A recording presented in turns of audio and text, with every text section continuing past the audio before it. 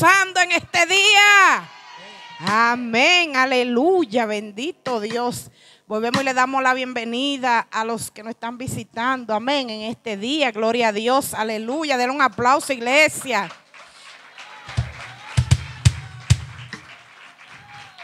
Aleluya. Este culto es especial para nuestro visitante. Amén. Amén. Tiene palabra para ellos, aleluya, de, de, arriba, del cielo, aleluya. Hay palabra de Dios y para cada uno de nosotros también, amén. Así que des un aplauso a usted mismo, aleluya. Gloria a Dios. Y sabemos que es un culto de avivamiento, que usted no puede dormirse ahí en la silla, que usted tiene que estar recibiendo, gozándose y que usted va a salir de aquí renovado con nuevas fuerzas, aleluya. Si está enfermo va a salir sano. Si no podía caminar, va a caminar. Si no podía hablar, va a hablar, aleluya. Porque lo que está pasando aquí desde el principio es algo sobrenatural. Aleluya. Y sin más preámbulo, vamos a orar por nuestra primera, aleluya, predicadora de este día que va a impartir la palabra. Así que eh, abra su corazón, aleluya, tome eh, eh, posición de reverencia a Dios, aleluya, porque la palabra, aleluya, que trae en cada una de estas siervas fue el Señor que se la dio en este día. Y vamos sin más preámbulo a pedirle a la hermana Soribel, gloria a Dios, que pase por aquí delante y extienda su mano y vamos a orar por ella, amén. Padre, en el nombre de Jesús te damos gracias, te damos gloria, honra, alabanza, Señor. Mira una de tus siervas aquí que tú has escogido para este día, Padre.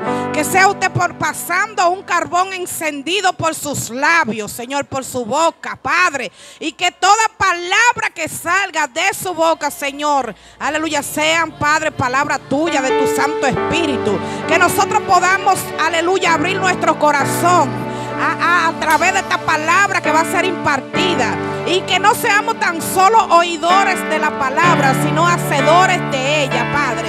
Que tu fuego en este día, Señor, consuma todo lo que no sea de tu agrado. Y que tú nos llenes cada día más de tu Espíritu Santo. Que el fuego del Espíritu Santo sea en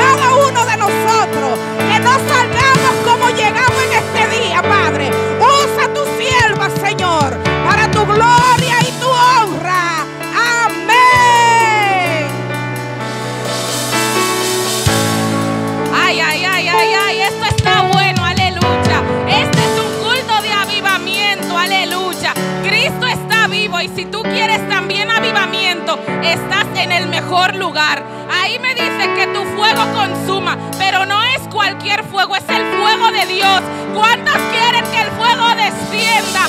Aleluya, no es tu fuego, ni es tu modo, es el fuego de Dios. Aleluya. ¿Cuántos están aquí? Ponte de pie, iglesia. Yo no sé con qué actitud tú viniste, pero si tú viniste con actitud de avivamiento, de aquí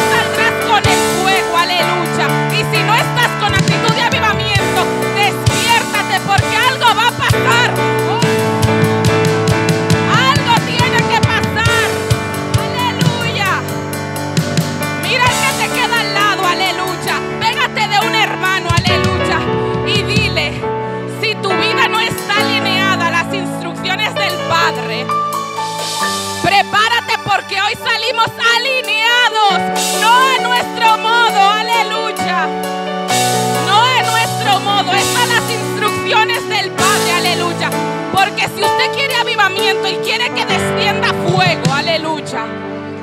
Es como el Padre diga, no como nosotros digamos, sino como dice el Padre. Así que a mi parte, aleluya. Culto de avivamiento, que tu fuego consuma, pero alinéate a la instrucción del Padre, aleluya. No es a nuestras instrucciones, sino a las instrucciones del Padre. No se asusten que todo va conectado, aleluya. Alinéate, aleluya, alinéate. Dile al que te queda al lado, alinéate. Si no estabas alineada, hoy nos vamos alineados, aleluya. No a nuestra dirección, sino a la dirección del Padre. Si usted quiere fuego, el fuego no baja como usted le dé su gana. El fuego tiene que bajar como Dios diga, aleluya. Oh, gloria a Dios, aleluya. Que Dios les bendiga, amados hermanos. Aleluya, yo me siento gozosa, espero que usted también, aleluya. Así que vamos a empezar, aleluya, porque esto está maravilloso, aleluya. Y yo te hago una pregunta, aleluya. Nosotros queremos que descienda fuego, pero pregúntate a ti mismo, preguntémonos a nosotros mismos, ¿qué tan alineada está nuestra vida a como quiere el Padre? Tú quieres avivamiento. Vinimos a buscar algo a este lugar. No vinimos a quedarnos igual. Usted vino porque usted necesita algo. Usted vino porque usted quiere que un fuego descienda. Aleluya. Usted vino a buscar algo de parte de Dios. Aleluya. Y aquí no voceamos solamente por vocear. Aquí voceamos porque aquí hay fuego. Aleluya. Porque estamos hablando de Cristo, del Rey de Reyes, del que está vivo y lo quiere avivar a usted. Pero si usted no vivo con actitud de avivamiento, los vivos son los que adoran, aleluya. Oh, gloria a Dios. Le invito a sentarse, amados hermanos, aleluya. Y como les dije antes, recuerde esto, alinea tu vida a las instrucciones del Padre. Alineate al Padre, no te alinees al mundo, porque si usted quiere que el fuego consuma, que el fuego descienda, no es como usted quiera. Y les voy a ir explicando por qué, aleluya que el fuego consuma, aleluya. Muchas veces nos dicen nuestros pastores que debemos estar alineados al Espíritu Santo, que debemos estar conectados a Dios Padre, Hijo y Espíritu Santo. Aleluya. Pero a veces nosotros no queremos alinearnos al Padre, sino a nosotros mismos. Nosotros nos queremos que todo nuestro alrededor se adapte a nosotros. Pero el fuego no desciende como a nosotros nos, dé la gana, como a nosotros queramos, sino como quiere el Padre. No se distraiga porque todavía el vuelo no ha salido, todavía no hemos despegado. Esto es un inicio, todavía usted está entrando al avión. Aleluya. No se pierda ningún detalle porque aunque, aunque a usted le parezca que esto como que está como raro, todo va conectado. Así que vaya agarrando, vaya preparando el equipaje porque todavía no hemos despegado. Aleluya. Oh, gloria a Dios. Si a mí me dice la palabra, estas son cosas que todos sabemos en Romanos 12:2, que no nos conformemos a este siglo, aleluya. Oh, gloria a Dios. Romanos 12:2. Leemos en el nombre del Padre, Hijo y Espíritu Santo de Dios. Amén. No os conforméis a este siglo, sino transformaos por medio de la renovación de vuestro entendimiento para que comprobéis cuál sea la buena voluntad de Dios agradable y perfecta. ¿Por qué les quise decir esto? Porque muchas personas quieren que ocurran milagros, muchas personas quieren que el fuego consuma, muchas personas quieren avivamiento, pero no son capaces de alinearse a la palabra de Dios, a las instrucciones del Padre, a como el Padre quiere que nosotros estemos caminando para que el fuego descienda. No se distraiga. Todavía el avión no ha salido, estamos recién entrando al avión. Y también dice Efesios 4:23, y renovaos en el espíritu de vuestra mente. Cómo uno se renueva a través de la palabra. No se distraiga que todavía no salimos, aleluya. Cuando usted está sedimentado y bien parado en la palabra de Dios, aleluya cuando estamos bien agarrados, a usted le pueden decir, vete para allá porque allá hay fuego, vete para allá porque allá te espera dinero, vete para allá porque allí te espera algo bueno. Y si usted sabe que usted está caminando como Dios quiere que camine, usted no se va para allá, para allá porque usted va a saber, es que a mí Dios no me dijo que vaya para allá. Es a la instrucción del Padre, no a la instrucción que a mí me diga, no a la instrucción que me diga fulanito de al lado, no a la instrucción que te diga hijo, padre o madre, sino a la instrucción del Padre. Todavía no salimos, estamos recién ahí poniendo el equipaje en los compartimentos. Aleluya. ¿Y qué ocurre? Aquí estamos nosotros, aleluya, como en Hechos 1, 4 y 5. Los discípulos tenían una instrucción y era quedarse unánimes en un lugar. Porque estaban esperando algo. Y aquí cada uno de nosotros estamos esperando algo, ¿sí o no? Estamos esperando algo y así mismo estaba este pueblo, aleluya, en ese momento. Ellos tenían una instrucción marcada por el Padre. Quédense ahí porque va a descender la promesa del Espíritu Santo. ¿Y por qué les digo esto? No se preocupe que todavía no salimos, aleluya. Casi, casi. Aleluya. dice en Hechos capítulo 1, 4 y 5, y estando juntos les mandó que no se fueran de Jerusalén, sino que esperasen la promesa del Padre, la cual les dijo, oísteis de mí. Porque Juan ciertamente bautizó con agua, mas vosotros seréis bautizados con el Espíritu Santo dentro de no muchos días. Espérense que todavía no llegamos al punto, todavía no hemos despegado, aleluya. Estamos aquí esperando algo. Pero si usted agarra y se va del lugar donde Dios le dijo que se quede, vístase que no se va, aleluya. No se vista, perdón, que no va, aleluya. Es alineados a la instrucción del Padre. No se distraiga. Aleluya. Usted quiere avivamiento. Cristo está vivo. Cristo está vivo. Los que estamos muertos cuando nos alejamos de Él somos nosotros. Aleluya. Si nos alejamos, aleluya, del lugar de donde tenemos que estar, si nos alejamos de esa instrucción, no puede esperar a que ocurra algo, no puede esperar a que el fuego consuma, porque usted es el primero que no está colocado en el lugar donde tiene que colocarse, no está con la actitud que debe tener para que ocurra ese milagro, esa promesa. Aleluya. Para que descendiera el Espíritu Santo era necesario que este pueblo estuviese en el lugar donde se les dijo que esperasen una instru- instrucción específica. Quédense en Jerusalén y esperen la promesa. Aleluya. ¿Y qué ocurre? La humanidad vive en desobediencia, vive queriéndose alejar de esa instrucción. Quieren vivir constantemente en la instrucción que yo quiero, porque es que no, porque en Jerusalén y no en Nueva York. Aleluya, me pongo a mi primera de ejemplo, aleluya. ¿Por qué en Jerusalén, pero no en Nueva York? Aleluya, por poner un ejemplo. Si dicen, vengan a la iglesia a las 2 de la tarde, quieren llegar a las 3. Si dicen, lleguen a las 2 de la tarde, quieren llegar a las 3. Si dicen a las 11, quieren llegar a las 12. Vivimos queriendo hacer las cosas a nuestro modo y no a la alineación del Padre. Todavía no salimos, aleluya. No salimos todavía. El Padre nos deja un modelo de oración en la palabra de Dios. Tenemos un modelo de oración. Padre nuestro que estás en los cielos, etcétera, etcétera, etcétera.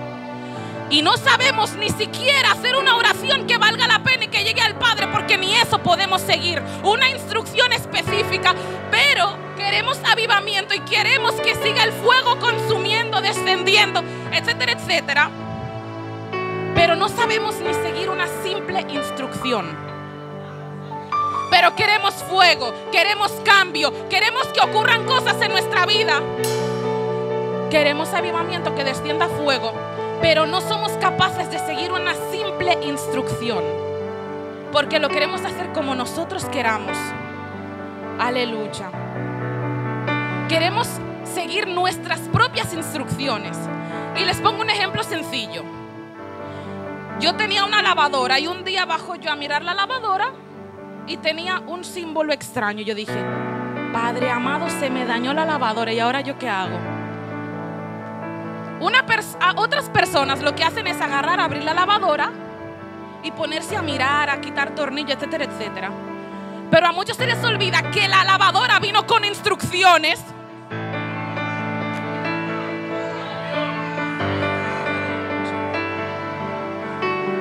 En lugar de mirar la instrucción que viene con la lavadora,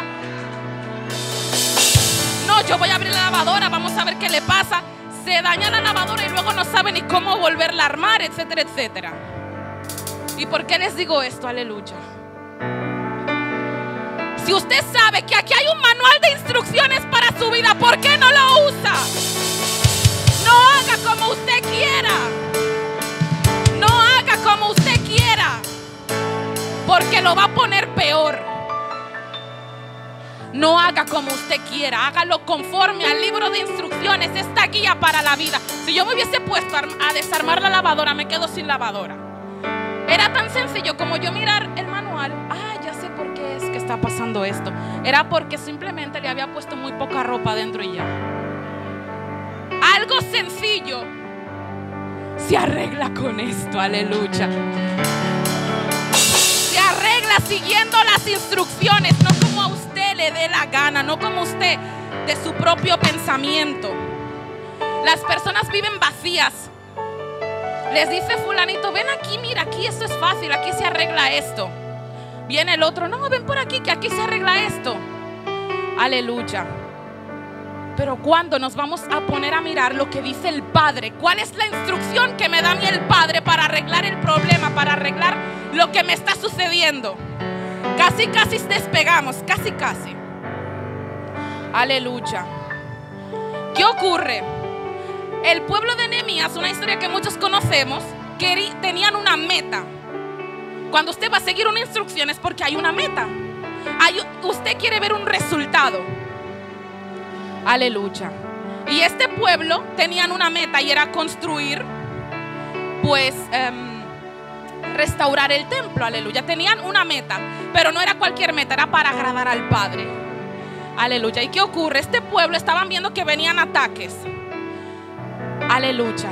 Venían ataques, pero ellos prepararon un plan, una instrucción. A pesar de las cosas malas que venía diciendo el enemigo, Qué fácil es yo escuchar, ay, mira, esta, mira este pueblo de que levantando un templecito aquí.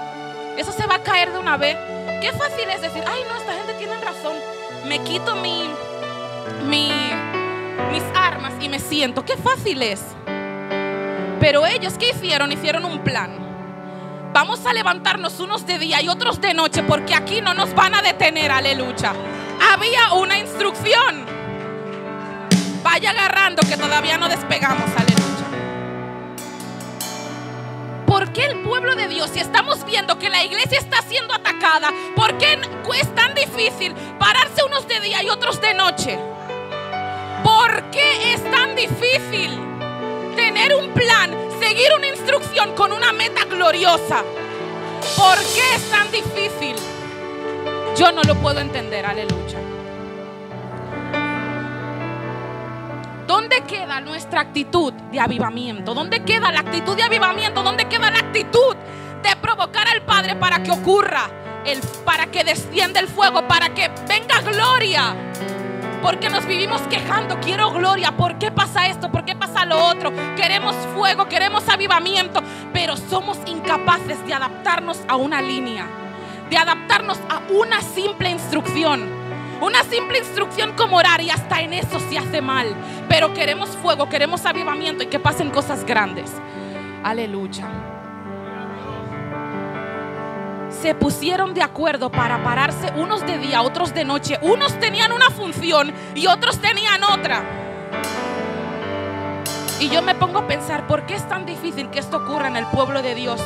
Unos de día y otros de noche. Algo tan simple pararse unos de día y otros de noche a orar y ya. ¿Por qué es tan difícil que la gente escuche que simplemente tiene que venir a aceptar a Cristo como Salvador?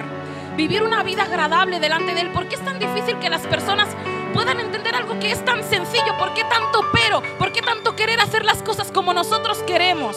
Y no alineados a las instrucciones del Padre.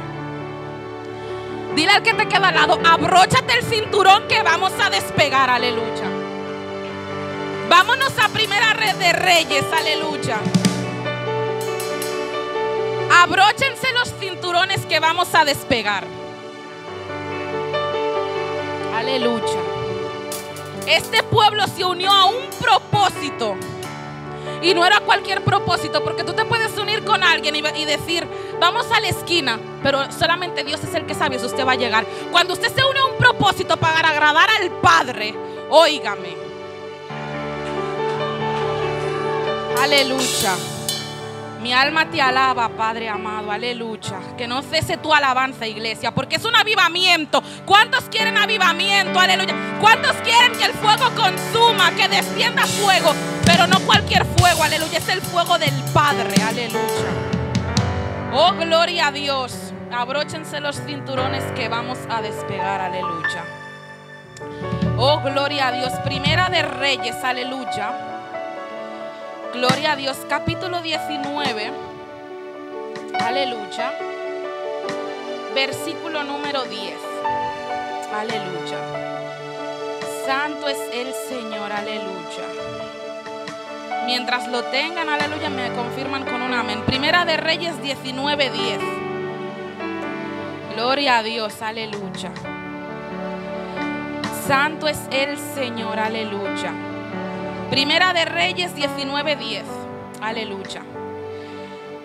En la misma comunión, él respondió, he sentido un vivo celo por Jehová Dios de los ejércitos, porque los hijos de Israel han dejado tu pacto, han derribado tus altares y han matado a espada a tus profetas, y solo yo he quedado y me buscan para quitarme la vida.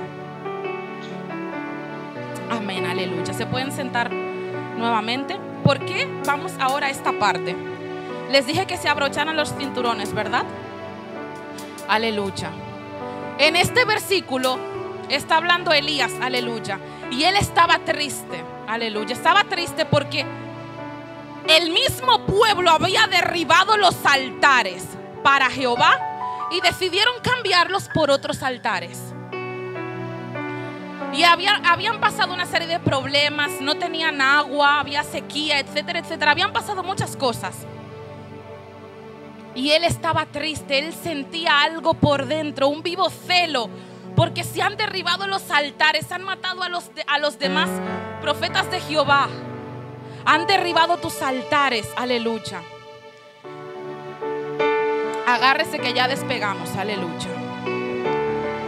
¿Cómo iba a descender el fuego si lo primero que hacemos es derribar el propio altar? Aleluya. Nosotros mismos derribamos el altar, apagamos al pueblo, aleluya. Somos los primeros que derribamos el altar, aleluya, y luego queremos cosas. Pedimos, pero somos los primeros en derribar los altares. A veces somos el mismo pueblo, es el que se encarga de apagarlo todo, de destruirlo todo. Pero queremos fuego, queremos avivamiento, aleluya. Queremos que el fuego consuma, pero cambiamos nuestros propios altares. En lugar del altar a Jehová, levantamos altares para otras cosas. Pero seguimos queriendo que baje el fuego. Queremos culto de avivamiento. Queremos salir vivos, saltando de la iglesia, etcétera, etcétera, y durar así la semana. Pero desde que salimos de, la iglesia, lo primero, lo primero que hacemos es derribar el altar que le hemos levantado a Jehová. Llegamos a casa y seguimos desbaratando más, más cosas. En lugar de continuar con el altar levantado para Jehová, lo desplazamos. No, papá, después tengo que hacer eso, tengo que hacer lo otro. Derribamos el altar, aleluya derribamos nuestra relación con Dios, derribamos toda la instrucción que el Padre nos había dicho, la derribamos simplemente. Por eso vuelvo y te repito, alinea tu vida a las instrucciones del Padre, no a las tuyas, porque con las tuyas no va a funcionar, nunca va a funcionar a nuestro modo. Y vamos a pasar una página antes en el capítulo 18, versículo 1. Aleluya. ¿Qué ocurre? Cuando usted acepta a Cristo, aleluya, usted aceptó a Cristo, ¿verdad? Aleluya. ¿Y qué ocurre en este versículo? Dice aquí que Jehová le dio una instrucción. Pasando, pasados muchos días vino palabra de Jehová a Elías en el tercer año diciendo, ve, muéstrate acá y yo haré llover sobre la faz de la tierra. Aleluya. ¿Por qué le digo este versículo? ¿Por qué leemos este versículo? Porque Elías recibió primeramente una instrucción. Esté atento, recibió una sola instrucción. Dios no le dijo más nada, fue una sola instrucción. Vete y muéstrate a, acá. Y habían muchas personas que estaban en contra de Elías, lo querían matar. Aleluya. Usted se iría donde una persona que lo quiere matar. Pero es que no fue él mismo que se, que se quiso ir, fue que Jehová lo mandó. Una, una sola instrucción. Dígale al que le queda al lado una instrucción. ¿Y cuál fue su actitud? La actitud de Elías fue una actitud de sumisión y obediencia directa. Directo. Nos dan una instrucción, oren así, oren así, digan tales cosas. ¿Dónde quedó la instrucción? Aleluya. La tiramos por ahí y hacemos lo que queremos.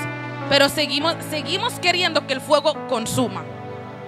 Pero no sabemos seguir instrucciones. Derribamos nosotros mismos, derribamos ese altar. Ese altar de adoración, ese altar de oración, ese altar de darle gloria a Él, lo derribamos por otras cosas. Quitamos el altar de adoración y ahora el altar de adoración de muchos es TikTok. El altar de adoración de muchos es internet. El altar de adoración de otros es alcohol. El altar de adoración de otros se ha vuelto amistades. Amistades que no te ayudan a nada. El altar de muchos se ha vuelto un familiar. El altar de muchos se ha vuelto mil cosas excepto Dios. Se derriba el altar tan sencillo que es derribar ese altar. Pero queremos milagros, queremos ver cosas diferentes en nuestra vida. Queremos que el mundo cambie, pero no somos capaces de cambiar primero nosotros. Queremos fuego, queremos avivamiento.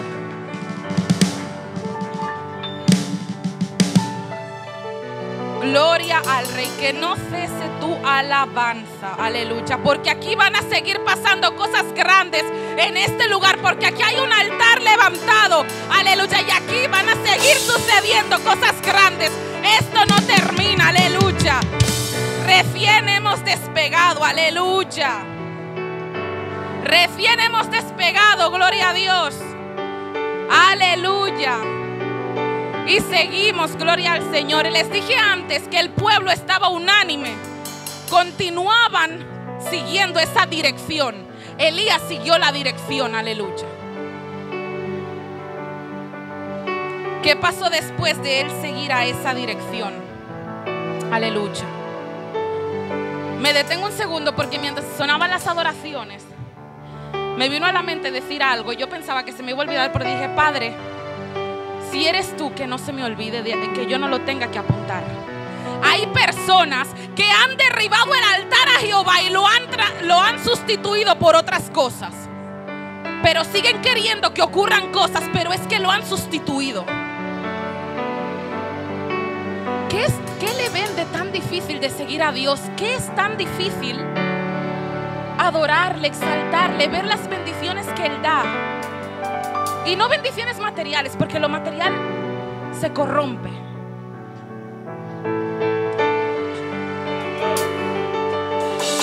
Aleluya. Si se lo vas a dar, dáselo para Él, para el Rey. Aleluya. Aleluya. Y ahora les voy a comentar lo que hizo Elías. Después que él fue direccionado, que hizo lo que Dios le dijo que hiciera vete y muéstrate allá.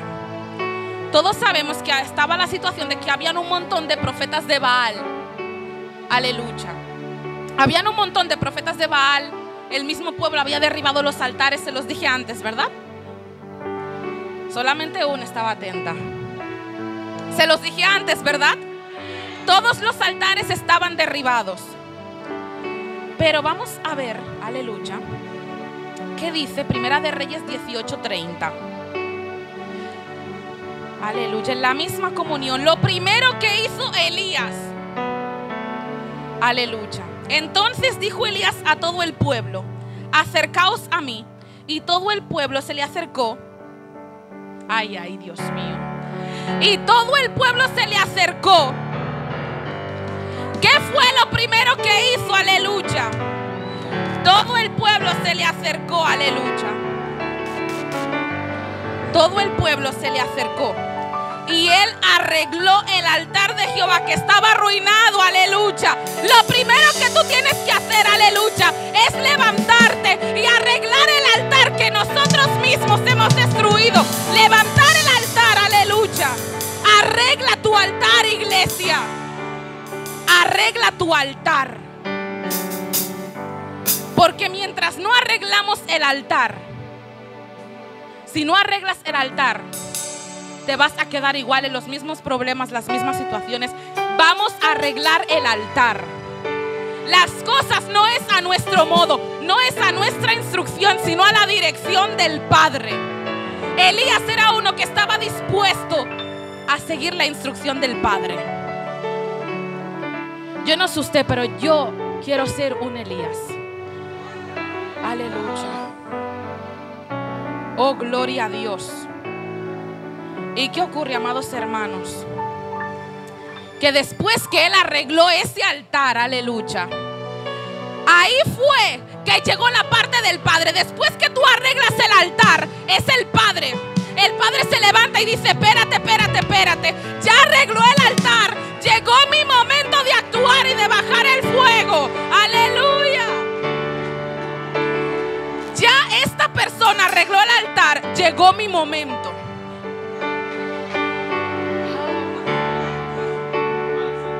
es alineados a las instrucciones del Padre que va a ocurrir que el fuego consuma, que el fuego descienda. No es con tu instrucción, es levantando el altar que debe ser levantado.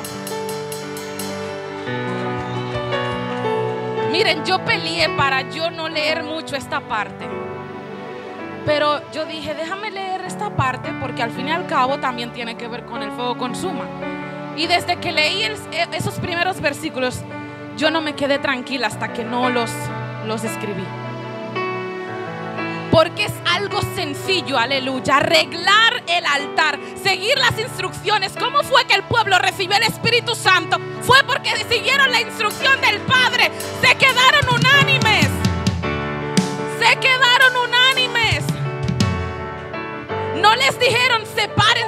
Que quieran por ahí. Que el Espíritu Santo ya llegará donde ustedes estén. Fue sencillo. Quédense en Jerusalén y esperen la promesa. Quedarse en Jerusalén y esperar la promesa. Elías, por eso yo comparo estas dos historias. Porque siguieron las instrucciones. Elías siguió la instrucción y hizo las cosas como Jehová le dijo, no como él quiso. Si queremos mucho fuego, queremos avivamiento, que ocurran cosas grandes, pero no somos capaces de arreglar un simple, no es simple, es algo poderoso, pero no somos capaces de arreglar el altar. No somos capaces de arreglar nuestra adoración. No somos capaces de arreglar nuestro método de orar. No somos capaces de arreglar cómo venimos a darle una adoración al Padre. No somos capaces de cambiar la actitud con la que venimos a la casa de Dios. ¿Qué avivamiento tú quieres que ocurra? ¿Qué cambio quieres que ocurra en tu vida? Si lo primero que haces es darle la espada, la espalda, aleluya, darle la espalda al Padre. A quien te da las instrucciones, no es tan complicado, señores. No es tan complicado, amados hermanos, amado amigo. Aleluya. No es difícil, no es complicado. Lo complicado es los problemas que te encuentras allá afuera que no tienes ni idea de cómo resolvernos ni de, ni de por dónde empezar a veces. Aleluya. Vamos a arreglar el altar. Vamos a arreglar nuestra adoración. Vamos a arreglar nuestros ayunos. Vamos a arreglar la manera en la que hacemos las cosas y vamos a alinearnos al Padre para que el fuego consuma.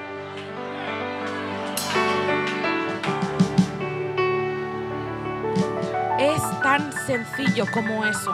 No pongamos el corazón de diamante como lo hizo el pueblo en el libro de Zacarías. Pues yo no me imagino un corazón como un diamante. Y un diamante, yo incluso me informé antes de decir esto. El diamante es uno de los cristales. Es más, creo que incluso es el más. El más duro de cortar. Un corazón como un diamante que no se rompe con nada. Y así viven muchos allá afuera con el corazón de diamante. Que nada se les, les rompe el corazón.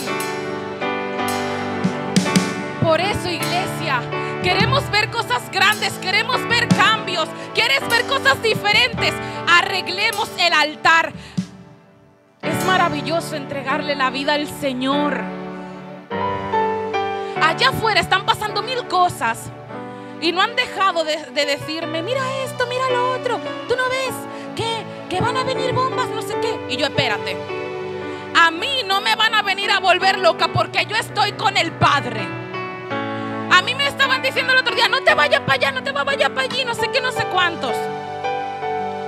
Yo estoy con el Padre porque yo me tengo que atemorizar y el mundo vive con temor. El mundo vive asustado porque no tienen ni idea de para dónde van. Arreglemos el altar a Jehová para que el fuego consuma. Fue lo primero que hizo Elías. Elías ni siquiera le oró, le or- le oró a Dios para que bajara el fuego, porque él sabía que lo primero que tenía que hacer era arreglar el altar. Y no a su modo, era el modo del Padre. Porque si usted no arregla el altar, nada va a pasar. Las personas están cambiando, aleluya, el altar a Jehová por otras cosas. Revisa dónde tienes tu altar, iglesia. Am- amado amigo, hermano que me escucha, invitado, invitada. ¿Dónde está tu corazón? ¿Dónde está tu altar? Dios envió a su Hijo a morir por nosotros. Y nos ha dejado instrucciones, nos dejó el Espíritu Santo que nos revela, que nos da la fuerza, que nos da la paz cuando no sabemos ni dónde encontrarla. Y como quiera y sea, somos capaces de tan fácil derribar ese altar y levantar otro para otra cosita. Y aquí era este, este era el punto donde quería llegar, amados hermanos. Aleluya. Vamos a arreglar la manera en la que estamos levantando el altar. Vamos a hacerlo de corazón verdadero. Y vamos a ver que el Padre va a decir, espérate mi hija, siéntate. Siéntate ahí, que soy yo la que te va a defender, que soy yo, aleluya, quien va a mover cielo y tierra por ti. Y esto no solamente va a ocurrir, es que para nosotros, aquí nosotros no somos nadie. Esto es para que los de allá afuera vean lo que hay aquí, que esto es poder de Dios, que no es solamente fuego que va a descender, sino que es el poder de Dios que está en este lugar, que está en ti, que está en mí, aleluya. Porque se dieron y vieron todos esos profetas de Baales y todas esas cosas que estaban levantadas que no servían para nada. Pero en cuanto él clamó y dijo, Padre, aleluya, que descienda fuego, el fuego descendió, aleluya. Y no para nosotros, sino para glorificar al Padre. Así que iglesia, piensa cuál es ese altar que has levantado, qué es eso que te impide no destruir ese, ese altar que no sirve para nada y levantarle el altar a Jehová. Aleluya. Y no crea de que porque derribe solamente un par de altarcitos y deja unos chiquititos, no crea de que el Padre se va a quedar ahí, de que se va a mover por usted, porque usted derribe solamente un par de cosas. Es todo. Es todo. Y levantar un solo altar. No necesitamos más. No necesitamos más iglesia. Aleluya. No necesitamos más. Solamente levantar un solo altar y hacerlo bien. ¿Por qué les dije alinea tu vida a las instrucciones del Padre? Porque cuando tú estás alineado, tú sabes que vas a llegar a la meta. En, en curva usted no llega a la meta, usted llega a esa línea recta. Y si Dios lo manda por una curva es porque sabe que por ahí que usted tiene que ir para llegar a la meta. Pero no es a nuestro método. No es venir y derribar altar. A veces nosotros como pueblo somos los que derribamos el altar, aleluya. Nosotros somos los que derribamos, aleluya. Así estaba Elías. El pueblo ha derribado el altar. El pueblo derribó todos los altares, mataron a todos los profetas de Jehová.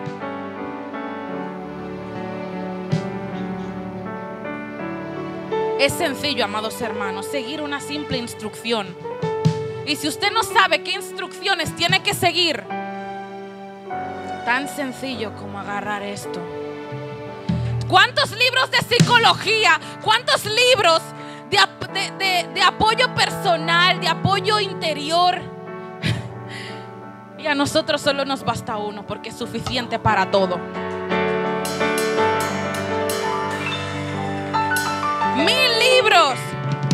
El más leído del mundo. Y mucha gente no lo sabe. Así que, amados hermanos, lo que te impida levantar ese altar a Jehová, derríbalo. No, si te duele, pónselo a Dios. Aleluya. Y Dios te va a dar la fuerza para, para que de un día para otro ya eso ni te importe. Ya. Dios sabe cómo va a tratar con cada uno de nosotros. Así que levanta tu altar, iglesia, para que descienda el fuego. Porque es que pruébalo, prueba a Cristo, aleluya. Levante ese altar a Jehová y va a descender el fuego. Jehová no se queda tranquilo cuando hay un pueblo que le adora, cuando hay un pueblo que le alaba, cuando hay un pueblo que le quiere levantar altar de corazón, aleluya. ¿Quieres que descienda el fuego? Levanta un altar a Jehová. ¿Qué te cuesta levantarle un altar a Jehová? Porque podemos durar dos horas levantándole altar a TikTok. Y me lo aplico también para mí, porque la palabra da para allá, pero también para acá.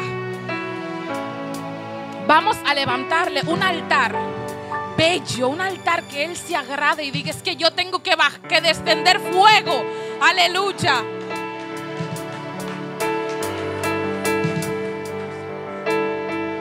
Ponte de pie, iglesia, aleluya. Es algo sencillo, no necesita de mucha palabra. No necesita de mucha palabra levantarle un altar a Jehová. No necesita de muchas palabras, no necesita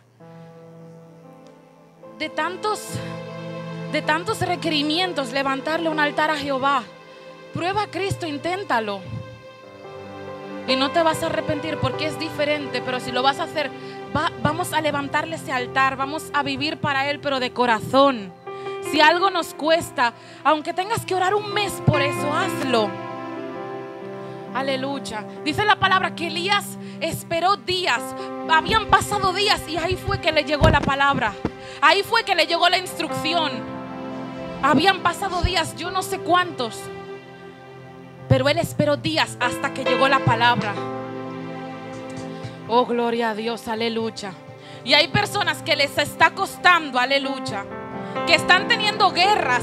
Yo lo voy a decir porque así fue que Dios me mostró y hay que ser obedientes.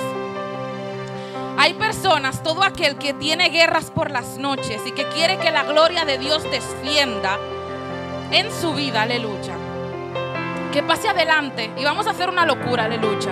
Que se ponga aquí de rodillas, aleluya. Si usted está teniendo guerra, no se asuste, yo no soy nadie, es papá que hace lo que tiene que hacer, aleluya. Y vamos a orar, porque si usted está teniendo guerras, si a usted le está costando levantarse, a, levantarse, si le está costando levantarse, a levantar ese altar a Jehová. Aleluya, si te está costando dejar un altar Aleluya. Si te está costando, las cadenas se rompen hoy. Todo lo que el enemigo haya querido levantar en contra de los hijos del rey tiene que caer en el nombre de Jesús. El fuego tiene que consumir. Aleluya. Oh, gloria a Dios. Aleluya. Es sencillo, no es difícil. Aleluya. Si te cuesta por las noches, gloria a Dios. Están pasando muchas cosas en el mundo, aleluya. Y esto es terrible lo que está pasando a nivel global, a nivel mundial. Prueba a Cristo. Cristo no te va a hacer nada malo. Él tiene planes de bien para cada uno de nosotros. Dios no te exige, aleluya que lo hagas todo de repente, aleluya. Dios solamente quiere salvarnos. Él no quiere hacernos nada malo, solamente quiere salvarnos, que vivamos una vida conforme a Él, agradable.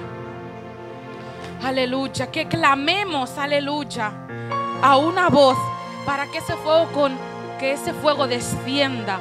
Aleluya, y vamos a adorarle. Vamos a orar porque de aquí vamos a salir alineados a las instrucciones del Padre. De hoy en adelante que nosotros, porque está en usted decir, Padre, yo quiero hoy un antes y un después. Ya basta de hacer de, de alinear mi vida como quiero yo. Yo quiero probar. Yo quiero hacerlo, mi Dios. Yo tengo el anhelo, aleluya, de que mi vida sea alineada a tus instrucciones. Porque cuando usted se alinea a las instrucciones del Padre, usted va a llegar a la meta, aleluya.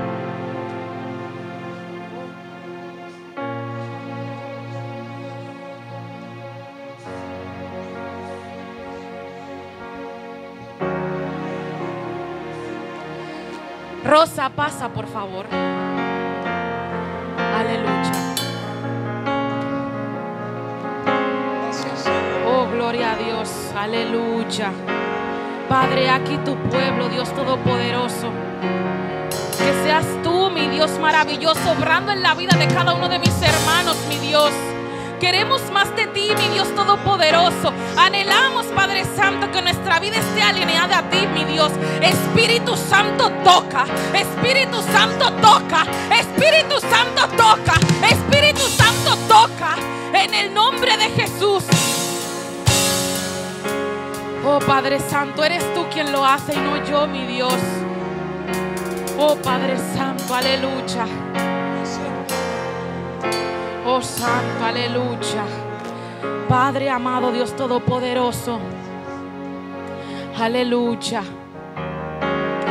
Dios Todopoderoso, que se haga tu voluntad, mi Dios, y no la mía, mi Rey. Aleluya. Y si mi pastora me ayuda a orar, aleluya.